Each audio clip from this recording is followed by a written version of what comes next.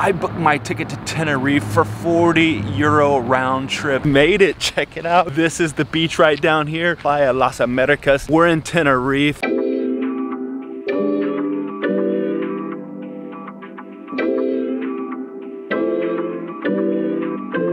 I'm leaving again. I'm going back to Spain, to Tenerife, the island in the Canaries where the weather should be fabulous. It's a perfect getaway. I'm gonna explain in this video all the logistics for getting, I made myself a coffee to go, all the logistics for getting there, what things cost from the flight to the rental car, and why you should put Tenerife on your to-do list when you're thinking about a warm getaway in Europe. Now, I gotta get out of here. My first destination, a flight from the Pisa airport. It's cold here in Florence. It's like three degrees Celsius. We're getting out of Italy. Almost drove off with this thing on the roof. Okay, now let's go. What are the Canary Islands? Well, it's this group of islands off the northwest coast of Africa. They're Spanish islands, but it's practically Africa, just off the African continent.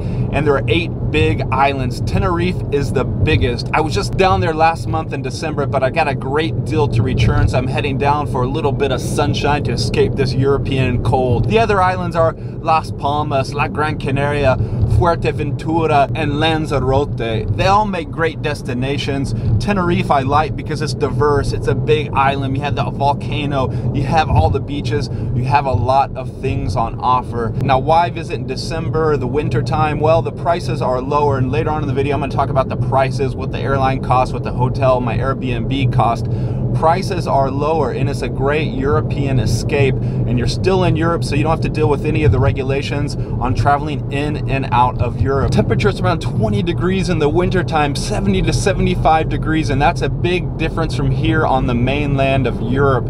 And in the summertime it gets a little bit warmer but the great thing is it never rains year round in the Canary Islands at the airport here in Pisa, Italy, but let's talk about how you can get to Tenerife or any of the Canary Islands. Well, in Europe, most of the airports serve the Canary Islands. Italy offers many low-cost flights. I booked my ticket to Tenerife for 40 euro round trip. That's amazing. Tenerife is the only island that has two airports. The other islands only have one major airport. Gran Canaria and Tenerife are the two major islands for flying in and out. And from there, you can use that as a hub. If you want to visit the other islands, you can take a ferry and go around to the other islands by ferry. So it's super convenient. Now, if you want to fly from the United States, there are no direct flights currently, but I have heard that they're thinking about reinstating a direct flight from New York to Tenerife. So that's something to look out for. Currently, the flight times from New York to Tenerife or the Canary Islands are 10 and a half hours to a little bit more. You can get flights with only one stop. Most of those fly through the mainland of Spain with a layover in Madrid and then bam, right down to the Canary Islands. Prices, well, there are some deals to be had because I had a look and you can get a ticket right now for around 250 euro round trip that's a bargain.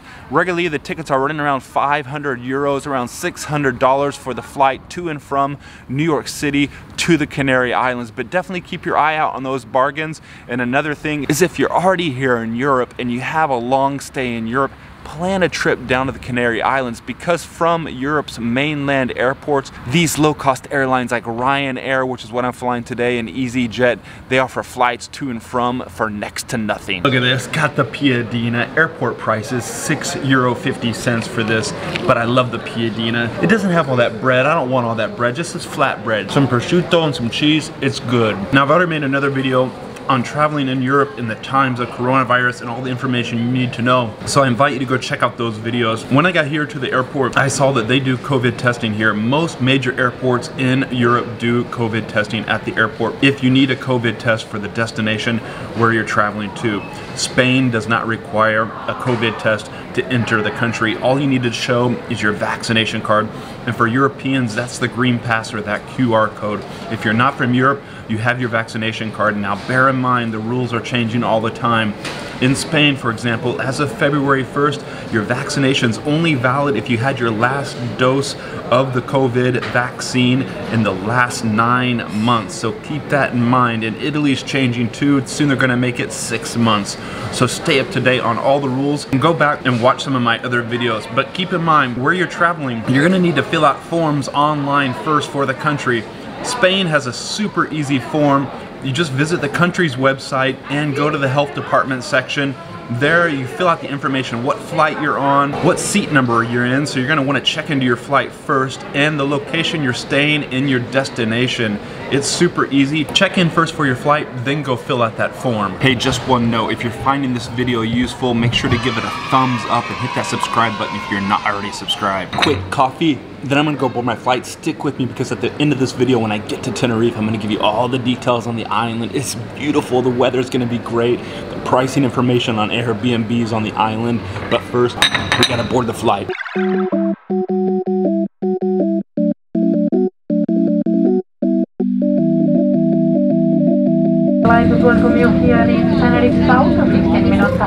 I made it. This is Tenerife. The weather is already better, even if it's a little bit overcasted. I got the short sleeves on, and what could be better? So let's go get the car. Rental car place is right over here, picking it up, then heading to the Airbnb. This is it, my little French car, Renault Clio. I paid 176 euro for this for seven days. It's a mini category, the smallest category they had, and I got a good bargain. I booked it only one day in advance. I was trying to book a car a month out, but it cost more, and I made a mistake, and I didn't even book it. One day out, I booked this 176 euro. Now we just have a 20 minute drive from here to Playa Las Americas, and that's where I'm staying over the next seven days. And when I get there, and when I get there, hopefully it's before the sun goes down, I'm gonna give you the tour of my Airbnb apartment and show you what I'm paying. Made it, check it out. This is the beach right down here palm trees up above. This is Playa Las Americas. We're in Tenerife and it's gonna be a good week. Now I just need to find my Airbnb. Give you a quick tour of my Airbnb. I am exhausted. This is it. Now, I paid a bit much because at the last minute, there weren't too many Airbnbs in this location. It's got a big couch here. Out here, check it out. This is where I'm gonna be sipping my morning coffee and watching the sun come up and watching the sun go down over Tenerife. So it's got this beautiful balcony, a lot of space in this place, and it's a bit bigger than actually what I needed and the last time I was here. But as I said, it was a bit last minute. This is the main bed up here. And if I have a couple little friends drop by, they could sleep there. And the bathroom, nothing too special, but it's all about the location here in Tenerife. And this is a beautiful location.